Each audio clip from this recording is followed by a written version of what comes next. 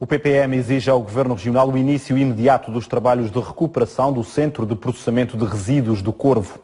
Paulo Estevão alerta para o estado de degradação em que se encontra a infraestrutura e diz que a situação pode mesmo colocar em risco o Estatuto de Reserva da Biosfera. É já a segunda conferência de imprensa do PPM sobre o mesmo assunto. Desta vez, Paulo Estevão trouxe fotografias para mostrar o avançado estado de degradação do centro de processamento de resíduos do Corvo. O teto do edifício foi destruído pelo mau tempo há cerca de um ano atrás.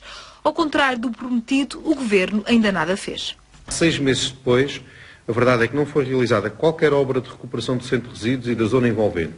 Pelo contrário.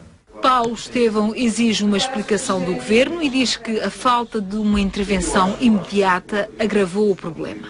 E assim não há orçamento regional que, que resista, nem desenvolvimento que se consiga implementar com, com este tipo de práticas, com este tipo de negligências. Assim, não há nada que, que, se consiga, que se consiga fazer, porque agora vamos ter que construir um equipamento todo novo. O deputado diz mesmo que o Corvo pode perder o estatuto de reserva da biosfera.